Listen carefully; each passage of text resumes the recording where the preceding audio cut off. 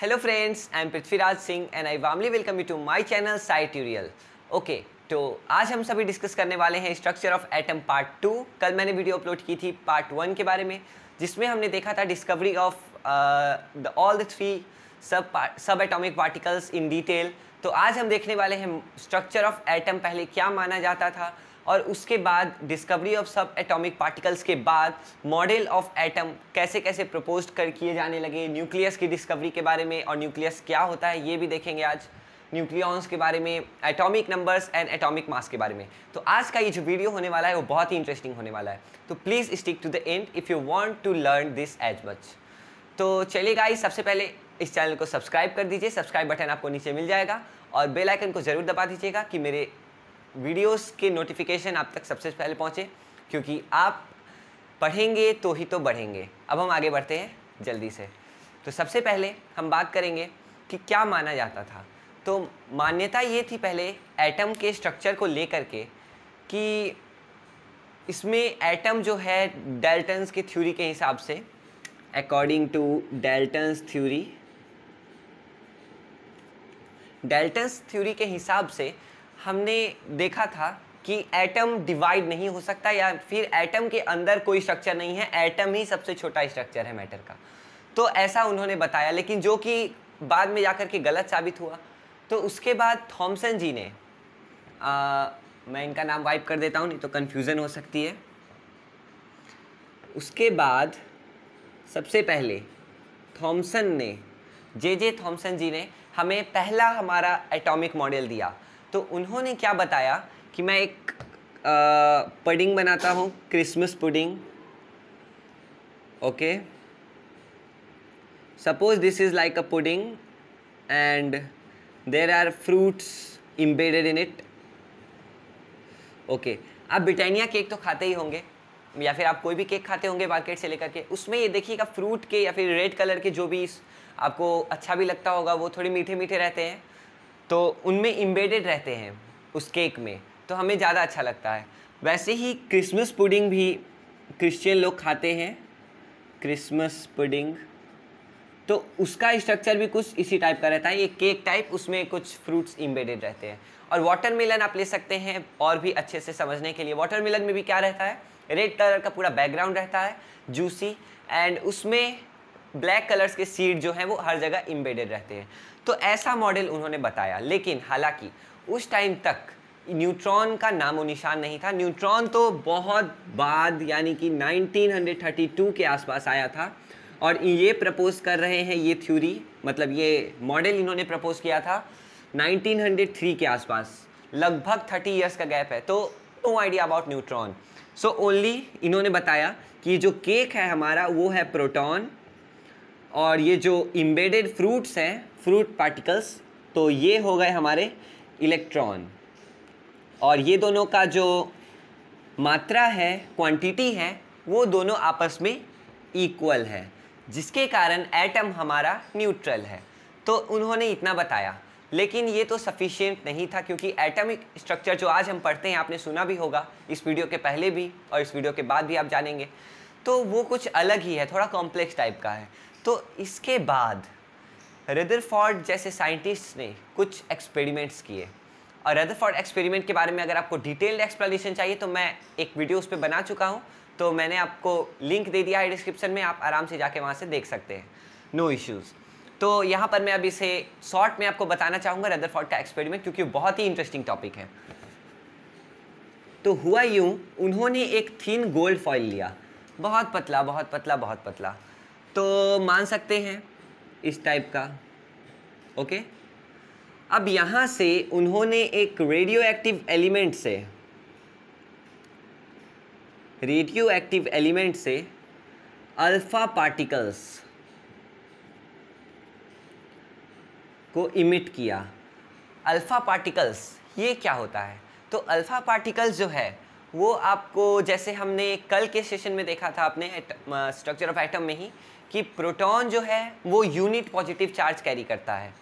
Okay unit positive charge और जो उसका मास भी है वो भी हम यूनिट मानते हैं एक यूनिट यूनिट मास तो अल्फ़ा पार्टिकल्स के पास दो यूनिट पॉजिटिव चार्ज होते हैं और चार यूनिट मास होते हैं। मतलब आ, दो प्रोटॉन आप कह सकते हैं दो प्रोटॉन और दो न्यूट्रॉन भी कह सकते हैं दोनों मिला के। मतलब दो प्रोटॉन प्लस दो न्यूट्रॉन।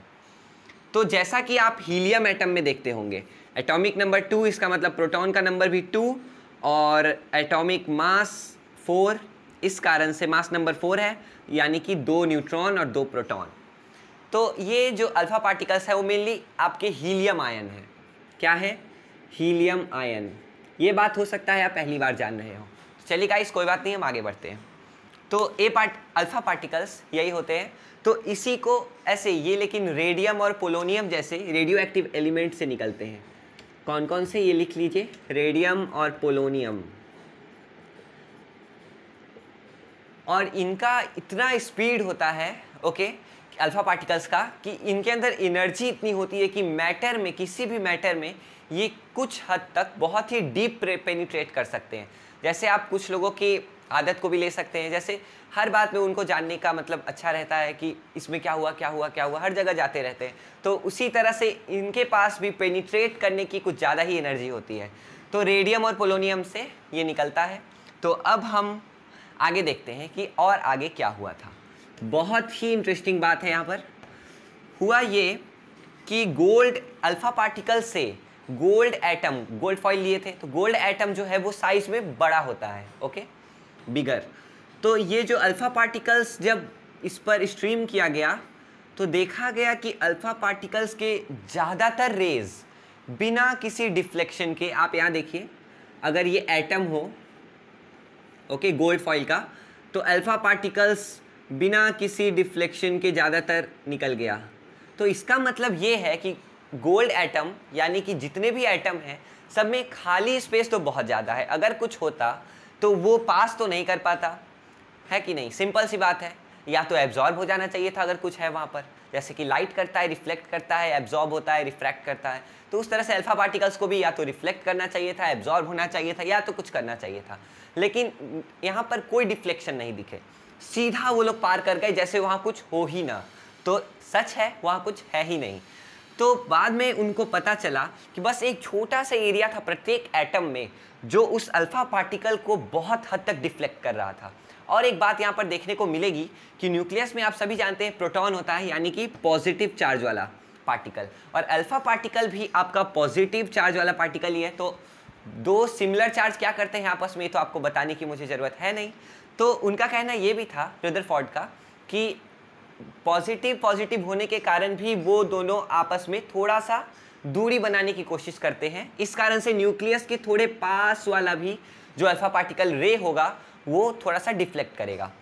लेकिन बाकी जगह से वो सिंपली निकल रहा था और बीच में जो न्यूक्लियस है, वो बहुत ही डेंस और हार्ड होगा, जैसा कि हमें बायोलॉजिकल सेल में मिलता है। उसका भी न्यूक्लियस बहुत हार्ड रहता है। न्यूक्लियोप्लाज्म के कारण। तो यहाँ भी कुछ वैसा ही है, बहुत डेंस है, लेकिन इसमें न्यूक्लियोप्लाज्म नहीं है। इसमें प्रोटॉन और न्यूट्रॉन है। वो हम आगे देखने वाले हैं, ठीक है? तो इतना इन्होंने बताया। तो इनको ये पता चला तो यहाँ पर हमारा सेकेंड टॉपिक कंप्लीट होता है आज का, जैसे कि डिस्कवरी ऑफ़ न्यूक्लियस तो न्यूक्लियस के बारे में उन्होंने क्या क्या बताया चलिए इसको अब हम वाइप करके जानते हैं। उन्होंने बताया कि न्यूक्लियस जो है वो बहुत ही डेंस और हार्ड है। Hard and dense and very small than atom also very smaller than atom okay तो ये उन्होंने बताया और वो बाकी स्पेस पूरा खाली है, उन्होंने ये भी बताया। तो मेन यही बात थी उनकी। और इतना बताने के बाद उन्होंने एक और मॉडल हमें बताया रुदरफोर्ड्स मॉडल हम उसे कहते हैं। जैसे थॉमसन जी ने बताया था, वैसे ही इन्होंने भी बताया।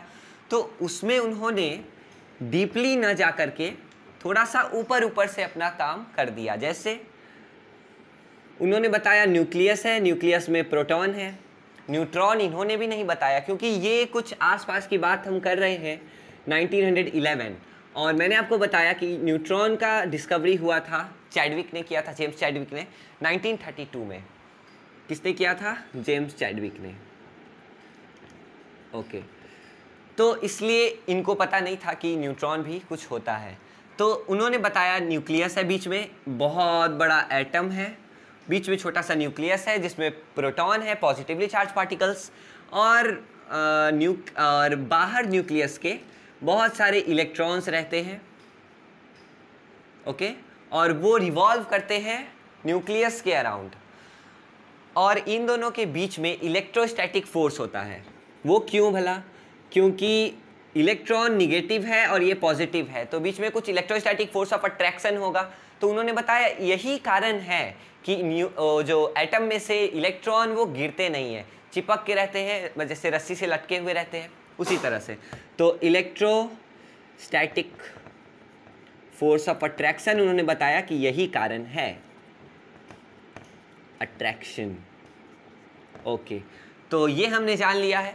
अब हम डिस्कस करने वाले हैं कि इनमें क्या कमी रह गई। कमी ये रह गई कि उन्होंने ये नहीं बताया कि इलेक्ट्रॉन किस सिस्टमेटिक वे में कैसे अरेंज रहता है एटम के अंदर और किस तरह से वो रोटेट करता है रिवॉल्व करता है न्यूक्लियस के चारों तरफ़। तो ये बहुत बड़ी गलती उनसे हो गई। तो उसके बाद आते हैं B O H R Bohr okay आज हम जो मानते हैं, जिनका मॉडल स्ट्रक्चर ऑफ़ एटम जिनका हम आज भी अडेप्ट करते हैं और आज भी यूज़ करते हैं, मानते हैं तो वो बॉर एंड ब्यूरी सीम के तहत है। इन दोनों ने मिलकर, इन दोनों के डेटा को देख करके जो हमें पता चला तो वो हम आज भी मानते हैं। लेकिन आज हम ब्यूरी के बारे में नहीं, सिर्फ़ बॉर के बारे में बात करेंगे। तो इन्होंने क्या बताया? इन्होंने बस वो प्रॉब्लम सॉल्व कर दी कि और एक बात है, मैं आपको एक साइंटिफिक रीज़न देता हूँ कि रदरफोर्ड का जो ड्रॉबैक हुआ था लिमिटेशंस हुए थे उनके मॉडल के, वो क्यों हुए थे? क्योंकि फिजिक्स में एक इलेक्ट्रोमैग्नेटिक थ्योरी होती है। क्या होती है? इलेक्ट्रोमैग्नेटिक थ्योरी जिसके तहत ये कहा गया है कि कोई भी चार्ज पार्टिकल हो चाहे वो पॉजिटिवली चार्ज हो या फिर निगेटिवली चार्ज अगर एक्सेलरेटेड मोशन करेगा, यानी उसका वेलोसिटी चेंज होगी एज टाइम पासेस तो एक्सेलरेशन के कारण वो कंटिन्यूसली अपना एनर्जी रेडिएट करेगा या फिर लॉस करेगा। मतलब आप देख सकते हैं कि न्यूक्लियस के चारों तरफ़ रुडरफोर्ड ने बताया कि गोल गोल ऑर्बिट्स में इलेक्ट्रॉन जो हैं वो चक्कर काटते हैं। तो आपको ध्यान में आया होगा कि आपने मोशन फ़र्स्ट चैप्टर में पढ़ा है क्लास नाइन में ही, कि अगर सर्कुलर मोशन की बात कर रहे हो हम तो वेलोसिटी उसकी कंटिन्यूसली चेंज होती रहती है, क्योंकि इस पॉइंट पर डायरेक्शन यहाँ है, इस पॉइंट पर वेलोसिटी का डायरेक्शन यहाँ है, इस पॉइंट पर वेलोसिटी का डायरेक्शन यहाँ है कंटिन्यूसली चेंज हो रही है, यानी एक्सेलरेशन है। तो यहाँ पर इलेक्ट्रॉन्स के पास एनर्जी बचेगी ही नहीं ओके कि वो एटम के साथ रहे तो एटम जो है वो डिस्ट्रॉय हो जाएगा। कोलैप्स हो जाएगा क्योंकि उसके पास इलेक्ट्रॉन के पास आपके एनर्जी नहीं है और प्रोटॉन एक जगह पर है, उसके पास बहुत एनर्जी है। जैसे ही इलेक्ट्रॉन के पास एनर्जी कम होगी, बस वो तुरंत अपने आप को खींच लेगा। अपने आप को नहीं इलेक्ट्रॉन को अपनी तरफ़ खींच लेगा। जैसे कि वो रोप वाले गेम में होता है, जिसके पास एनर्जी कम, थोड़ा सा भी ढील दीजिएगा, बस अपोनेंट आपको खींच लेगा। तो उसी तरह से हुआ। मतलब होना चाहिए, क्योंकि ऐसा होता नहीं है। तो बॉर्न ने भी ये बताया कि गलती ये रह गई बाकी सब सेम है। और इनके टाइम तक एक बात और है कि न्यूट्रॉन का आविष्कार भी हो गया था। तो इन्होंने बताया पहली बात कि न्यूक्लियस में प्रोटॉन और न्यूट्रॉन होते हैं। ओके ये उन्होंने बता दिया। और न्यूक्लियस के बाहर जो इलेक्ट्रॉन होते हैं electron revolve around the nucleus in particular orbits. और इन ऑर्बिट्स में खास बात ये है कि ये ऑर्बिट्स कम एनर्जी लेवल ज़्यादा है। इसका मतलब जिस इलेक्ट्रॉन के पास एक पार्टिकुलर एनर्जी होगी तो वो उस पार्टिकुलर एनर्जी लेवल में वो रह पाएगा। अगर उसकी एनर्जी कम या ज़्यादा हुई तो अपना एनर्जी लेवल यानी कि ऑर्बिट चेंज करेगा। मतलब जैसे कि यहाँ पर एक डायग्राम काम आएगा। ये हो गया हमारा न्यूक्लियस पहला ऑर्बिट और दूसरा ऑर्बिट ही लेते हैं अभी।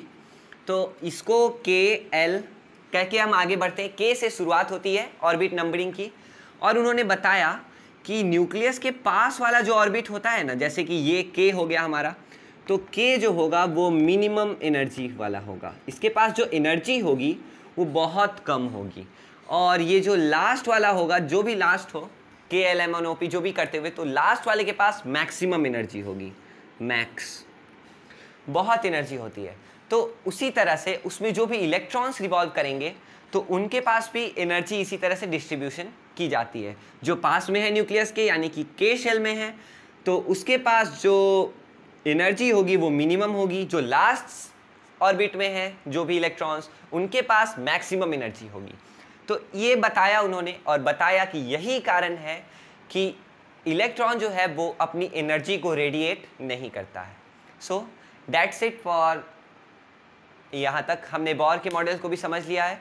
तो उन्होंने इतना बताया रदरफोर्ड का बाकी बातें सही थी तो उन्होंने और इसमें यही ऐड किया।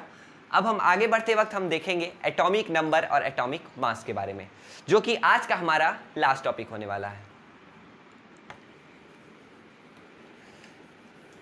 तो सबसे पहले एटॉमिक नंबर। आप केमिस्ट्री से इतने तो परिचित हैं कि आपको पता होगा कि हर एलिमेंट का एक अपना स्पेसिफिक एटॉमिक नंबर होता है। जैसे हम कुछ एलिमेंट्स लेंगे first hydrogen and eight oxygen and eleven that is sodium and मैं यहाँ पर शॉर्ट फॉर्म लिख रहा हूँ, आपको फुल फॉर्म पता होगा। और यहाँ seventeen which is chlorine C L, ये एल है। ओके तो यहाँ मैंने ऐसा क्यों लिखा है? तो एटॉमिक नंबर जो है आपका, एटॉमिक नंबर, वो होता है number of proton in an atom. In an atom. यानी कि, और आपको पता है कि एटम जो है वो इलेक्ट्रिकली न्यूट्रल होता है, यानी कि इलेक्ट्रॉन का नंबर संख्या इज़ इक्वल टू प्रोटॉन की संख्या। तो यहाँ पर proton is equal to neutron, electron होता है नंबर में। ओके? okay? जिस कारण होता है तो आप ऐसा कह सकते हैं कि अगर वो आयन नहीं है, इलेक्ट्रिकली नॉर्मल एटम है, electrically neutral normal atom normal atom क्या रहता है? ये भी आप जान सकते हैं, एक कैरेक्टरिस्टिक नॉर्मल एटम, वो इलेक्ट्रिकली न्यूट्रल होता है। इलेक्ट्रिकली न्यूट्रल ओके तो हम यहाँ से बस सिंपली ये समझने वाले हैं कि एटॉमिक नंबर और मास नंबर में क्या डिफरेंस है और क्या रिलेशन है। तो ये होता है number of protons in an atom एक एटम में जितने नंबर ऑफ़ प्रोटॉन हो। तो भाई, किसी नॉर्मल एटम में प्रोटॉन और इलेक्ट्रॉन के नंबर्स तो सेम ही होते हैं। तो हम एटॉमिक नंबर से पता लगा सकते हैं कि नंबर ऑफ़ इलेक्ट्रॉन कितने हैं और नंबर ऑफ़ प्रोटॉन कितने हैं। एक पंथ, दो काज। और इसका जो शॉर्ट फॉर्म होता है एटॉमिक नंबर का, वो होता है z. यानी कि हाइड्रोजन का z is equal to one और ऑक्सीजन का भी z is equal to eight sodium का भी z इज़ इक्वल टू ऐसे ही करते हुए एटॉमिक नंबर को हम z कहते हैं। और यहाँ मतलब है हाइड्रोजन के एक एटम में न्यूक्लियस में एक प्रोटॉन और बाहर भी एक इलेक्ट्रॉन और ये ऑक्सीजन के एटम के न्यूक्लियस में eight proton and eight electron outside it और फिर सोडियम में भी 11 प्रोटॉन होते हैं उसके न्यूक्लियस में और न्यूक्लियस के बाहर भी 11 इलेक्ट्रॉन होते हैं। क्लोरीन के साथ भी सेम टू सेम है। तो हमने एटॉमिक नंबर जान लिया। अब हम एटॉमिक मास और सॉरी मास नंबर जानेंगे। So hair